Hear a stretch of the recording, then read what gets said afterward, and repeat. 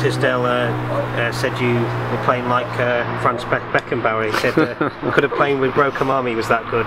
Um, how nice was it to hear those comments uh, from Paul in the media? Uh, yeah, it's always nice to get a bit of praise, I guess. Um, know, it might be a little bit over the top, mightn't it? But um, yeah, take take it, I guess. Um, just yeah, look forward to the next game and hopefully keep keep performances coming. And like I said, as long as the team's doing well, everybody's happy. Yeah, I don't know that I'm doing a lot different, but um, people seem to be saying that. So um, just got yeah, keep doing what I'm doing at the moment, and like I said, hopefully the performances keep keep arriving on a Saturday afternoon. And yeah, like I said, just just got to keep keep on to the next and see where it takes us. yeah.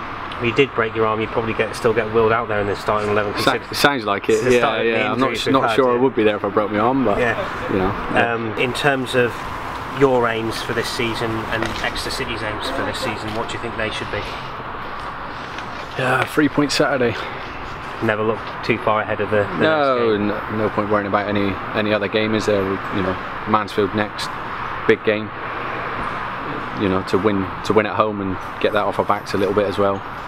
Um, yeah, just another three points and you know keep chugging away and take us up the table.